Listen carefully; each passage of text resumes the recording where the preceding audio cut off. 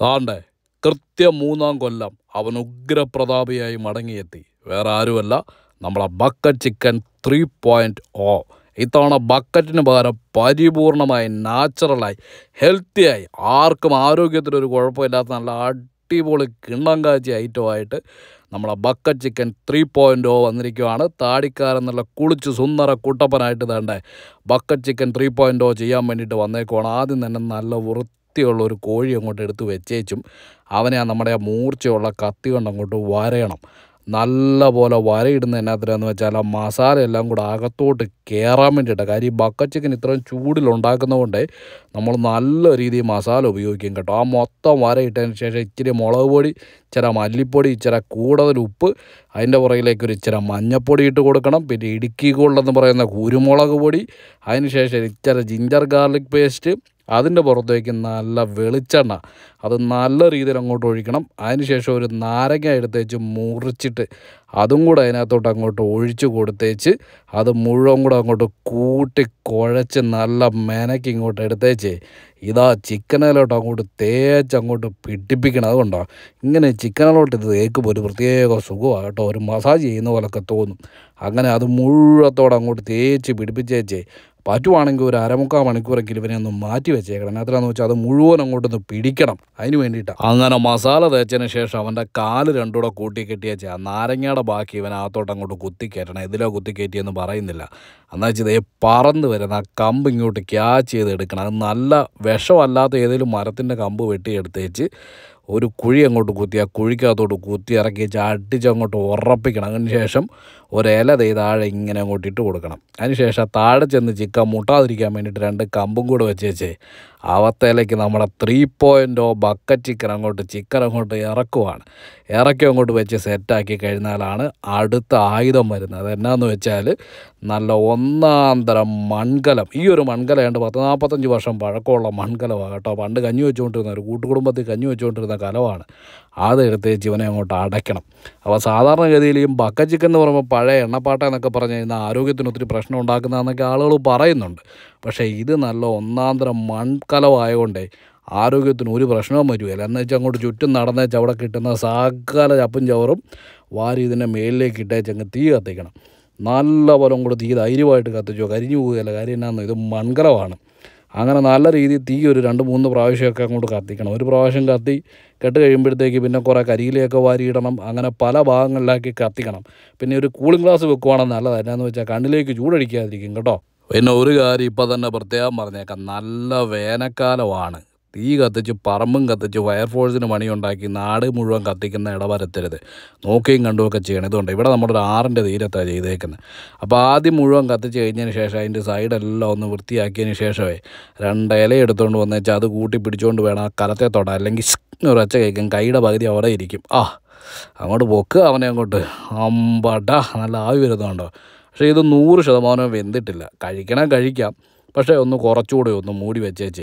നമുക്ക് ഒന്നുകൂടെ ഒന്ന് വേവിച്ചെടുക്കാൻ കറക്റ്റ് അളവിനാക്കി എടുക്കാം ആ സമയം കൊണ്ട് മനസ്സിന് പ്രയോജനം കിട്ടുന്ന ഒരു കാര്യം പറഞ്ഞു തരട്ടെ നമ്മുടെ വൈക്കം മുഹമ്മദ് ബഷീർ നമുക്കെല്ലാം അറിയാം. അദ്ദേഹത്തിന്റെ പുസ്തകങ്ങൾ നമ്മൾ സ്കൂൾ തൊട്ടേ പഠിക്കുന്നത് വായിക്കുന്നതുമാണ്. എന്നാൽ അദ്ദേഹത്തിന്റെ പുസ്തകങ്ങളെക്കാളൊക്കെ സംഭവ ബഹുലമാണ് അദ്ദേഹത്തിന്റെ ആത്മകഥ. അപ്പം വൈക്കം മുഹമ്മദ് ബഷീറിന്റെ ആത്മകഥ ഇപ്പം നമ്മുടെ കുക്കു എഫ് എമ്മിൽ അവൈലബിൾ ആണ്. അപ്പോൾ കുക്കു എഫ് എമ്മിനെ കുറിച്ച് ഞാൻ പറയാതെ തന്നെ നിങ്ങൾക്കറിയാം. കുക്കു എഫ് എം എന്താ ചെയ്യുന്നതെന്ന് വെച്ചാൽ പതിനായിരത്തിലധികം ബുക്സ് അത് ഓഡിയോ രൂപത്തിൽ നമ്മളെ വായിച്ച് കേൾപ്പിക്കുകയാണ് ചെയ്യുന്നത്. അഥവാ നമുക്ക് പുസ്തകം വായിച്ച് കഷ്ടപ്പെടണ്ട എന്നർത്ഥം. അപ്പോൾ നമ്മൾ ഈ കടയിൽ പോയി പുസ്തകങ്ങൾ വാങ്ങിക്കാന്ന് വെച്ചാലേ പുസ്തകങ്ങളുടെ വില നിങ്ങൾക്കറിയാം. അതിഭീകരമായ വിലയാണ്. എന്നാൽ കുക്കു ഹോമിൽ ഇപ്പോൾ പതിനായിരക്കണക്കിന് പുസ്തകങ്ങളാണ് ഉള്ളത്. ഈ പുസ്തകങ്ങളെല്ലാം കൂടെ നമുക്ക് നാൽപ്പത്തി ഒമ്പത് രൂപയ്ക്ക് ഒരു മാസത്തേക്ക് ആസ്വദിക്കാം. അതിന് മാർക്ക് ഫിഫ്റ്റി എന്ന കൂപ്പൺ കോഡ് മാത്രം നിങ്ങൾ ഉപയോഗിക്കുക. താഴെ കാണുന്ന ലിങ്കിൽ ക്ലിക്ക് ചെയ്യുക. കുക്കു ഹോം ഡൗൺലോഡ് ചെയ്ത് ഉപയോഗിക്കുക. ഹാപ്പി ആയിട്ടിരിക്കുക. ആണ്ട് അടുത്ത സ്റ്റെപ്പും കൂടെ നമ്മൾ കത്തിക്കുക അപ്പോൾ ഈ ബക്കറ്റ് ചിക്കന്റെ ഒരു അഡ്വാന്റേജ് എന്നാണെന്നറിയോ ഗ്രില്ല് വേണ്ട നല്ല ചാർക്കോൾ വേണ്ട കട്ടിയുള്ള തടി വേണ്ട വെറും ചവർ മാത്രം കത്തിച്ചാൽ മതി. അപ്പോൾ ഉള്ളതെല്ലാം കൂടെ വാരിയിട്ടേച്ച് നല്ലപോലെ ഒന്ന് കത്തിച്ചതിന് ശേഷം ചോടൊക്കെ പിന്നെ ഒന്ന് തട്ടി തൂത്ത് മാറ്റിയേച്ച് ഒന്നുകൂടെ അങ്ങോട്ട് പൊക്കുമ്പോഴത്തേക്കിതേ അമ്പടാ ആൽക്കിടിലായിട്ടിരിക്കുന്നുണ്ട്. ശരിക്കും പറഞ്ഞാൽ ഒരു തരി പുറമേ കരിഞ്ഞിട്ടുണ്ട്. ഒരു തരി പക്ഷേ അങ്ങനെ കരിയുന്ന ചില ആളുകൾക്ക് ഇഷ്ടമാണ്. എന്നാൽ അത് ചില ആളുകൾക്ക് അത്ര ഇഷ്ടമല്ല അപ്പോൾ അതിനെക്കുറിച്ച് നമ്മൾ ന്യായീകരിക്കാനൊന്നും നിൽക്കുന്നില്ല. പിന്നെ ഈ ഒരു ആ ഒരു ചെറുതായിട്ട് കരിഞ്ഞത് ഇഷ്ടമല്ലെങ്കിൽ ഒരു കത്തി എടുത്തേ ചെയ്യും. അത് ചുമ്മാ ദേ ഇങ്ങോട്ട് തട്ടിക്കഴിഞ്ഞാൽ അതൊക്കെ പൊക്കോളും.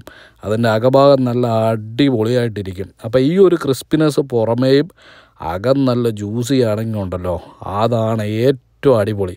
ഇനി അവനെ ആ ചൂടോട് കൂടി അങ്ങോട്ട് പൊക്കിയെടുത്ത് കഴിഞ്ഞാൽ വാഴയിലേക്കകത്തോട്ട് അങ്ങോട്ട് വെക്കണം.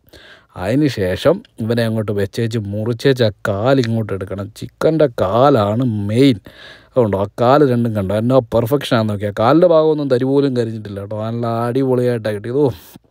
വായി വെള്ളം വന്നിട്ട് മേല. അതായത് റോ മെറ്റീരിയൽസ് ഒന്നും തന്നെ ഇല്ലാതെ ഈസി ആയിട്ട് ഉണ്ടാക്കാൻ പറ്റുന്ന സാധനമാണ് ബക്കറ്റ് ചിക്കൻ പ്രിയതമയ്ക്കും കൊടുത്തേക്കാം ശകലം. അതിന് ശേഷം നമ്മളെല്ലാവരുടെ കൂടി അങ്ങ് കഴിക്കാൻ വേണ്ടിയിട്ട് പോതേ ഊഫ്. അതിന്റെ പുറം നല്ല ക്രിസ്പിയും അതിന്റെ അകം നല്ല ജ്യൂസിയും ആഹാ ഹാ ഹാ ഹാ ഇങ്ങനെ വേണം കഴിക്കാൻ വേണ്ടിയിട്ട്. അപ്പോൾ ഇത് ഈ സത്യം പറഞ്ഞാലേ നമ്മൾ ഈ ഫ്രണ്ട്സ് എല്ലാം കൂടെ കൂടുമ്പോഴത്തേക്ക് ഇതെല്ലാം കൂടെ. വേണമെങ്കിൽ ഈ സമയത്ത് ഒരു ഇച്ചിരി ഉപ്പും ഒക്കെ ഒന്ന് ഇട്ട് കൊടുക്കുക അതിന്റെ അകത്ത് ആ ജ്യൂസിനെസ് കണ്ടോ? അപ്പോൾ പറഞ്ഞു വന്നത് എന്നാന്ന് വെച്ചാൽ നമ്മൾ ഫ്രണ്ട്സ് എല്ലാം കൂടി കൂടുമ്പോഴത്തേക്ക് ഒരു രസമാണിത്. മറ്റേ ഗ്രില്ലും ചാർക്കോളും അതും ഇതും ഒന്നും മേടിച്ച് കാര്യം കളയേണ്ട. ആകെ ഒരു ചിക്കൻ വാങ്ങിച്ചാൽ മതി. പിന്നെ കലം വീടിന്റെ സൈഡിലൊക്കെ എവിടെയെങ്കിലുമൊക്കെ പഴയതൊക്കെ കാണുമെന്നേ. അതൊരെണ്ണം എടുത്താൽ മതി. അപ്പോൾ എന്നതാണേലും ഈ സാധനം കലം വെച്ച് ഉണ്ടാക്കി കഴിഞ്ഞാൽ നല്ല ഹെൽത്തിയാണ് അടിപൊളിയാണ് നല്ല രുചിയാണ് നല്ല രീതി കാലത്തിന് വെയിറ്റ് ഉള്ളതുകൊണ്ട് പുക കയറത്തില്ല അങ്ങനെ ഒത്തിരി ഗുണങ്ങളുണ്ട് ഇതിനകത്ത്. അപ്പോൾ അതിനാണല്ലോ ബക്കറ്റ് ചിക്കൻ എന്ന് പറയുന്നത് നമ്മുടെ താടിക്കാരനെ സംബന്ധിച്ചിടത്തോളം ഒരു റവല്യൂഷൻ തന്നെയാണ്. കാര്യം പുള്ളി ഇത് അവതരിപ്പിച്ചതിന് ശേഷം ചാനൽ വേറെ റേഞ്ചിലേക്ക് മാറിയത് കേട്ടോ. അപ്പോൾ എന്നാലും നമ്മൾ ആദ്യം ബക്കറ്റ് ചിക്കൻ ഇറക്കി അതിനുശേഷം ടു പോയിന്റോ ഇറക്കി. അതാണ്ട് ഇപ്പോൾ ത്രീ പോയിന്റോ നല്ല ഒന്നാം തരം മൺചട്ടി മൺകലം വെച്ചിട്ട് വന്നേക്കുവാണ്. അപ്പോൾ അത് നല്ല അടിപൊളി സംഗതിയാണ് കേട്ടോ. നൂറ് ശതമാനം ഗ്യാരണ്ടി.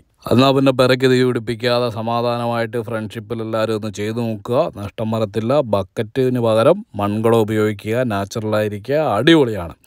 അപ്പോൾ എല്ലാ തവണയും പറയാറുള്ളത് പോലെ പല പല വ്യത്യസ്ത ഭാവങ്ങളായിട്ട് നമ്മളൊരു പാവമല്ല വളരെ സ്നേഹം നിറഞ്ഞ ഒരു കോട്ടയംകാരനായ മാർക്ക് ആന്റണി സൈനിങ് ഓഫ്